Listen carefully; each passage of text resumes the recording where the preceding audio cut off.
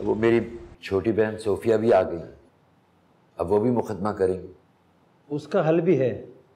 खैर काम बड़ा मुश्किल था लेकिन आपकी परेशानी को देखते हुए मैंने सोचा कि हर काम बंदे को पैसे के लिए नहीं करना चाहिए।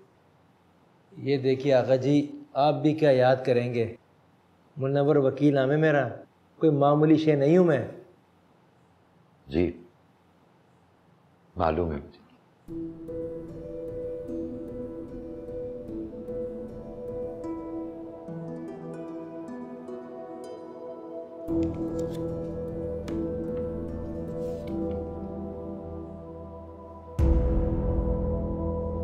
वकील साहब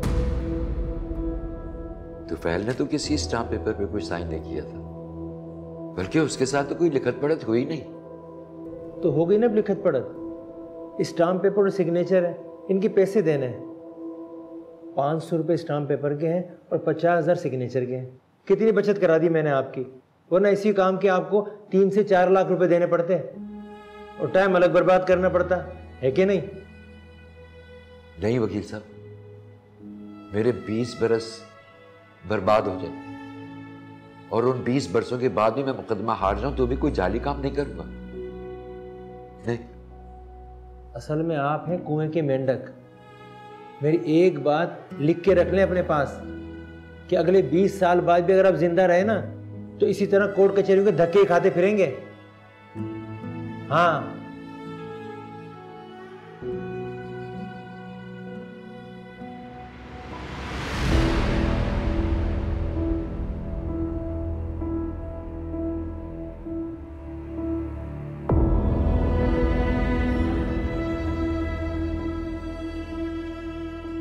लिख के रख लें अपने पास कि अगले 20 साल बाद भी अगर आप ज़िंदा रहे ना तो इसी तरह कोर्ट कचहरियों के धक्के खाते फिरेंगे।